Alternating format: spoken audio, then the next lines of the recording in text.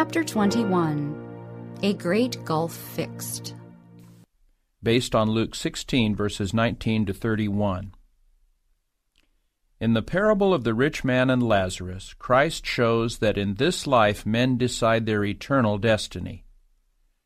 During probationary time, the grace of God is offered to every soul. But if men waste their opportunities in self pleasing, they cut themselves off from everlasting life. No after probation will be granted them. By their own choice, they have fixed an impassable gulf between them and their God.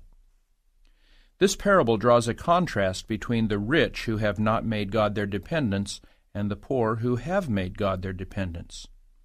Christ shows that the time is coming when the position of the two classes will be reversed those who are poor in this world's goods, yet who trust in God and are patient in suffering, will one day be exalted above those who now hold the highest positions the world can give, but who have not surrendered their life to God. There was a certain rich man, Christ said, which was clothed in purple and fine linen and fared sumptuously every day. And there was a certain beggar named Lazarus which was laid at his gate full of sores, and desiring to be fed with the crumbs which fell from the rich man's table. The rich man did not belong to the class represented by the unjust judge, who openly declared his disregard for God and man. He claimed to be a son of Abraham. He did not treat the beggar with violence or require him to go away because the sight of him was disagreeable. If the poor, loathsome specimen of humanity could be comforted by beholding him as he entered his gates, the rich man was willing that he should remain, but he was selfishly indifferent to the needs of his suffering brother. There were then no hospitals in which the sick might be cared for. The suffering and needy were brought to the notice of those to whom the Lord had entrusted wealth, that they might receive help and sympathy. Thus it was with the beggar and the rich man. Lazarus was in great need of help, for he was without friends, home, money, or food. Yet he was allowed to remain in this condition day after day, while the wealthy nobleman had every want supplied. The one who was abundantly able to relieve the sufferings of his fellow creature lived to himself, as many live today. There are today close beside us many who are hungry, naked, and homeless. A neglect to impart of our means to these needy, suffering ones places upon us a burden of guilt which we shall one day fear to meet. All covetousness is condemned as idolatry. All selfish indulgence is an offense in God's sight. God had made the rich man a steward of his means, and it was his duty to attend to just such cases as that of the beggar. The command had been given, Thou shalt love the Lord thy God with all thine heart, and with all thy soul, and with all thy might. Deuteronomy 6, verse 5. And thou shalt love thy neighbor as thyself. Leviticus 19:18. The rich man was a Jew, and he was acquainted with the command of God. But he forgot that he was accountable for the use of his entrusted means and capabilities. The Lord's blessings rested upon him abundantly, but he employed them selfishly to honor himself, not his Maker. In proportion to his abundance was his obligation to use his gifts for the uplifting of humanity. This was the Lord's command, but the rich man had no thought of his obligation to God. He lent money and took interest for what he loaned, but he returned no interest for what God had lent him. He had knowledge and talents, but did not improve them. Forgetful of his accountability to God, he devoted all his powers to pleasure.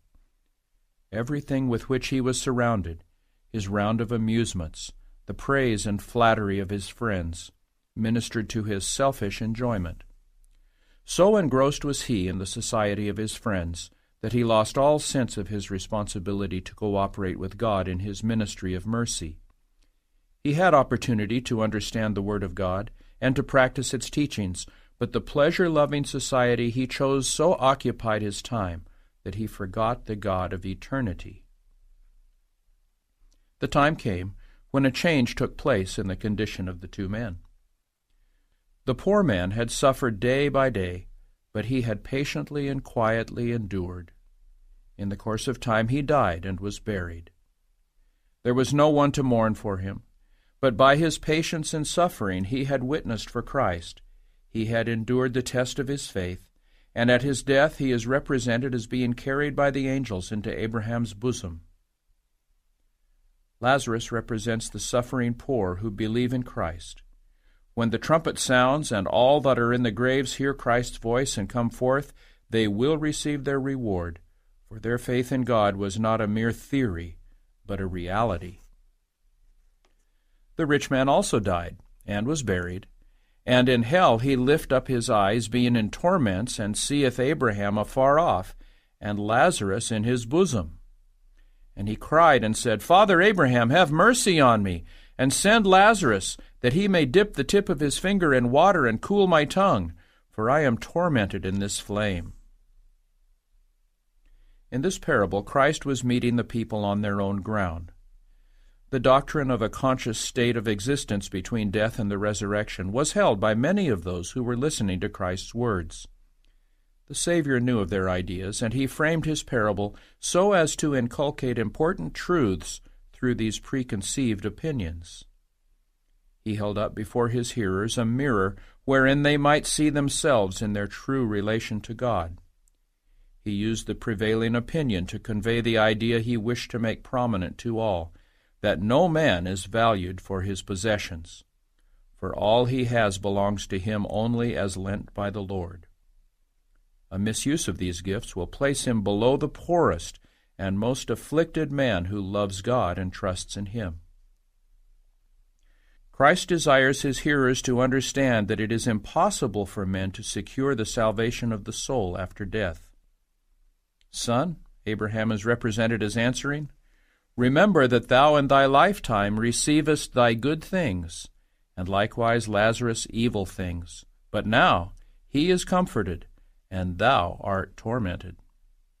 And beside all this, between us and you there is a great gulf fixed, so that they which would pass from hence to you cannot, neither can they pass to us that would come from thence.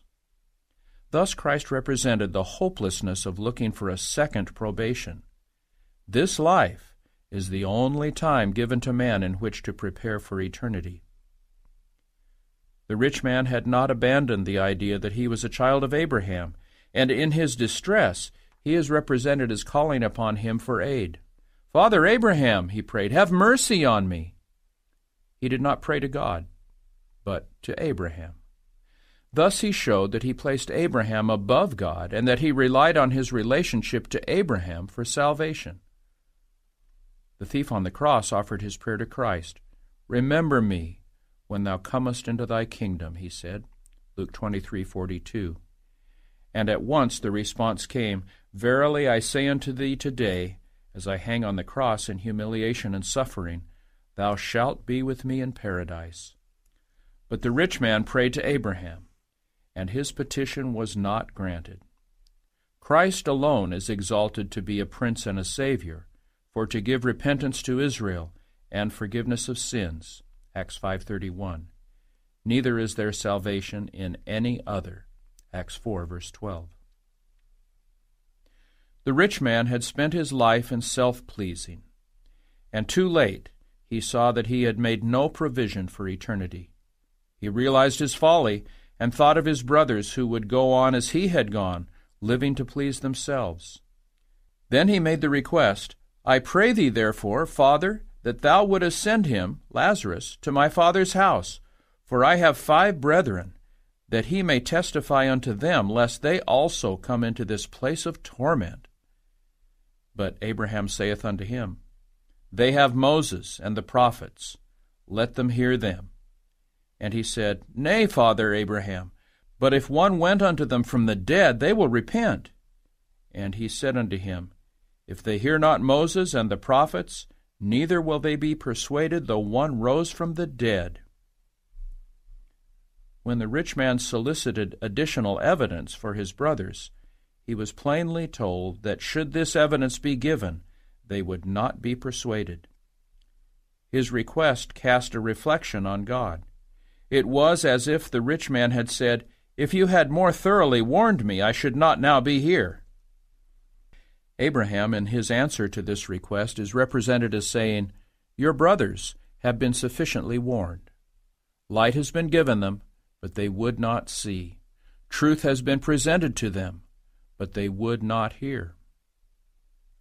If they hear not Moses and the prophets, neither will they be persuaded though one rose from the dead. These words were proved true in the history of the Jewish nation. Christ's last and crowning miracle was the raising of Lazarus of Bethany after he had been dead four days. The Jews were given this wonderful evidence of the Saviour's divinity, but they rejected it. Lazarus rose from the dead and bore his testimony before them, but they hardened their hearts against all evidence and even sought to take his life. John 12, verses 9 through 11. The law and the prophets are God's appointed agencies for the salvation of men. Christ said, Let them give heed to these evidences.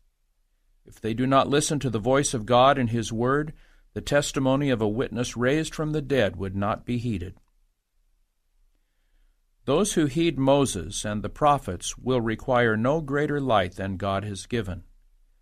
But if men reject the light and fail to appreciate the opportunities granted them, they would not hear if one from the dead should come to them with a message. They would not be convinced even by this evidence.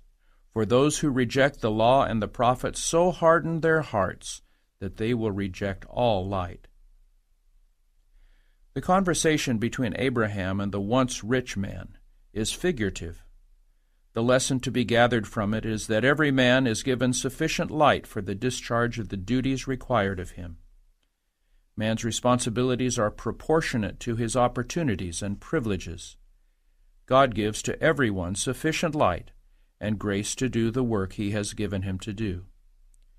If man fails to do that which a little light shows to be his duty, greater light would only reveal unfaithfulness, neglect to improve the blessings given. He that is faithful in that which is least is faithful also in much, and he that is unjust in the least is unjust also in much. Luke 16:10. Those who refuse to be enlightened by Moses and the prophets and ask for some wonderful miracle to be performed would not be convinced if their wish were granted. The parable of the rich man and Lazarus shows how the two classes represented by these men are estimated in the unseen world. There is no sin in being rich if riches are not acquired by injustice. A rich man is not condemned for having riches, but condemnation rests upon him if the means entrusted to him is spent in selfishness. Far better might he lay up his money beside the throne of God by using it to do good. Death cannot make any man poor who thus devotes himself to seeking eternal riches. But the man who hoards his treasure for self cannot take any of it to heaven. He has proved himself to be an unfaithful steward. During his lifetime he had his good things, but he was forgetful of his obligation to God he failed of securing the heavenly treasure. The rich man who had so many privileges is represented to us as one who should have cultivated his gifts so that his works should reach to the great beyond, carrying with them improved spiritual advantages. It is the purpose of redemption not only to blot out sin, but to give back to man those spiritual gifts lost because of sin's dwarfing power. Money cannot be carried into the next life. It is not needed there. But the good deeds done in winning souls to Christ are carried to the heavenly courts. But those who selfishly spend the Lord's gifts on themselves, leaving their needy fellow creatures without aid, and doing nothing to advance God's work in the world, dishonor their Maker. Robbery of God is written opposite their names in the books of heaven. The rich man had all that money could procure, but he did not possess the riches that would have kept his account right with God. He had lived as if all that he possessed were his own. He had neglected the call of God and the claims of the suffering poor. But at length there comes a call which he cannot neglect. By a power which he cannot question or resist, he is commanded to quit the premises of which he is no longer steward.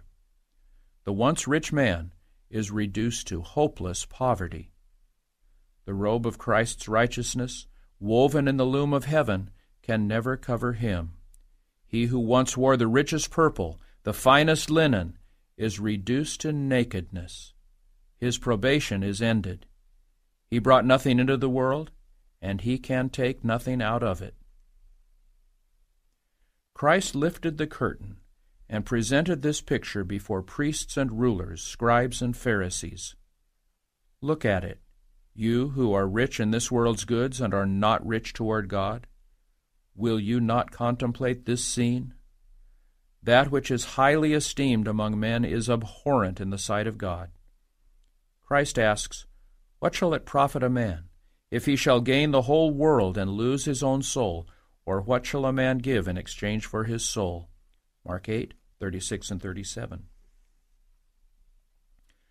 When Christ gave the parable of the rich man and Lazarus, there were many in the Jewish nation in the pitiable condition of the rich man, using the Lord's goods for selfish gratification, preparing themselves to hear the sentence, Thou art weighed in the balances and art found wanting.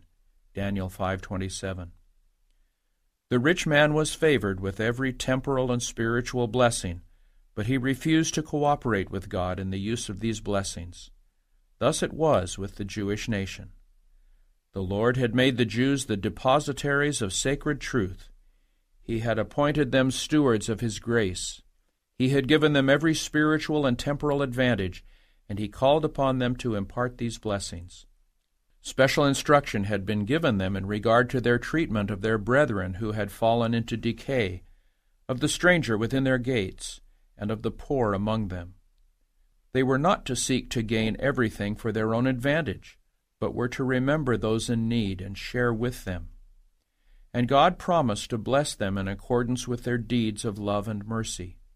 But, like the rich man, they put forth no helping hand to relieve the temporal or spiritual necessities of suffering humanity. Filled with pride, they regarded themselves as the chosen and favored people of God, yet they did not serve or worship God. They put their dependence in the fact that they were children of Abraham. We be Abraham's seed, they said proudly, John 8:33. When the crisis came, it was revealed that they had divorced themselves from God and had placed their trust in Abraham as if he were God. Christ longed to let light shine into the darkened minds of the Jewish people. He said to them, If ye were Abraham's children, ye would do the works of Abraham. But now ye seek to kill me, a man that hath told you the truth which I have heard of God. This did not Abraham. John 8, 39 and 40. Christ recognized no virtue in lineage. He taught that spiritual connection supersedes all natural connection. The Jews claimed to have descended from Abraham, but by failing to do the works of Abraham, they proved that they were not his true children. Only those who prove themselves to be spiritually in harmony with Abraham by obeying the voice of God are reckoned as of true descent. Although the beggar belonged to the class looked upon by men as inferior, Christ recognized him as one whom Abraham would take into the very closest friendship. The rich man, though surrounded with all the luxuries of life, was so ignorant that he put Abraham where God should have been. If he had appreciated his exalted privileges and had allowed God's Spirit to mold his mind and heart, he would have had an altogether different position. So with the nation he represented. If they had responded to the divine call, their future would have been wholly different. They would have shown true spiritual discernment. They had means which God would have increased, making it sufficient to bless and enlighten the whole world. But they had so far separated from the Lord's arrangement that their whole life was perverted. They failed to use their gifts as God's stewards in accordance with truth and righteousness. Eternity was not brought into their reckoning, and the result of their unfaithfulness was ruin to the whole nation. Christ knew that at the destruction of Jerusalem the Jews would remember his warning. And it was so. When calamity came upon Jerusalem, when starvation and suffering of every kind came upon the people, they remembered these words of Christ and understood the parable. They had brought their suffering upon themselves by their neglect to let their God given light shine forth to the world. The closing scenes of this earth's history are portrayed in the closing of the rich man's history. The rich man claimed to be a son of Abraham, but he was separated from Abraham by an impassable gulf, a character wrongly developed. Abraham served God, following his word in faith and obedience, but the rich man was unmindful of God and of the needs of suffering humanity. The great gulf fixed between him and Abraham was the gulf of disobedience. There are many today who are following the same course. Though church members, they are unconverted. They may take part in the church service, they may chant the psalm, As the hart panteth after the water brooks, so panteth my soul after thee, O God. Psalm 42, verse 1. But they testify to a falsehood. They are no more righteous in God's sight than is the veriest sinner. The soul that longs after the excitement of worldly pleasure, the mind that is full of love for display, cannot serve God. Like the rich man in the parable, such a one has no inclination to war against the lust of the flesh. He longs to indulge appetite. He chooses the atmosphere of sin. He is suddenly snatched away by death, and he goes down to the grave with the character formed during his lifetime in co-partnership with satanic agencies. In the grave he has no power to choose anything, be it good or evil, for in the day when a man dies, his thoughts perish. Psalm 146 4 and Ecclesiastes 9 5 and 6. When the voice of God awakes the dead, he will come from the grave with the same appetites and passions, the same likes and dislikes that he cherished when living. God works no miracle to recreate a man who would not be recreated when he was granted every opportunity and provided with every facility.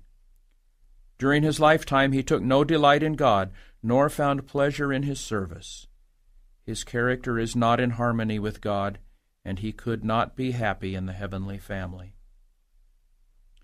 Today, there is a class in our world who are self righteous. They are not gluttons, they are not drunkards, they are not infidels, but they desire to live for themselves, not for God. He is not in their thoughts. Therefore they are classed with unbelievers. Were it possible for them to enter the gates of the city of God, they could have no right to the tree of life, for when God's commandments were laid before them with all their binding claims, they said, No. They have not served God here, therefore they would not serve him hereafter. They could not live in his presence and they would feel that any place was preferable to heaven. To learn of Christ means to receive His grace, which is His character. But those who do not appreciate and utilize the precious opportunities and sacred influences granted them on earth are not fitted to take part in the pure devotion of heaven. Their characters are not molded according to the divine similitude. By their own neglect, they have formed a chasm which nothing can bridge. Between them and the righteous there is a great gulf fixed.